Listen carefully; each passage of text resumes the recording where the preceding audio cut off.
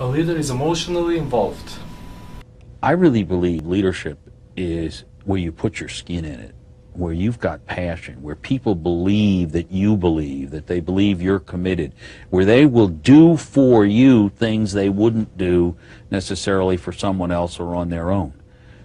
A leader has vision. You can't just talk to people about, you know, be a team player and let's change our strategy. You got to give them something that they work at.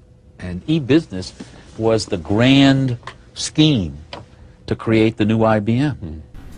Leaders know they need support in order to accomplish their goals. And I mean, I had to rely to find some people.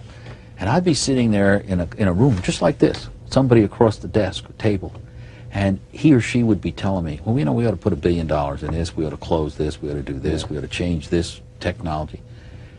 And I wouldn't be listening to them about the technology. I was trying to figure out, this person really seemed to understand what they were talking about? And could they make the connections to the hmm. customer?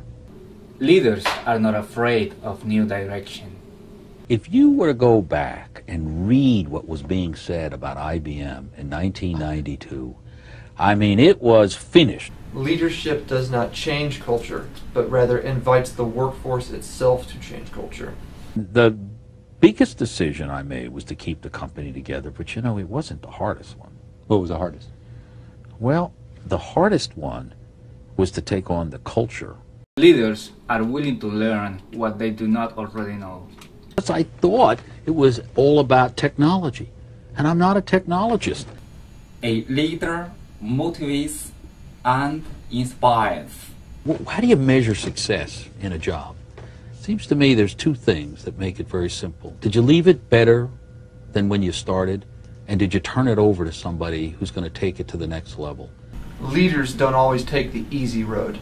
Because IBM arguably was the most successful private enterprise in the world for two or three decades.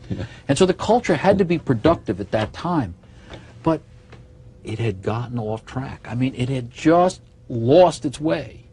And now I had to go in and I had, I had to change that culture.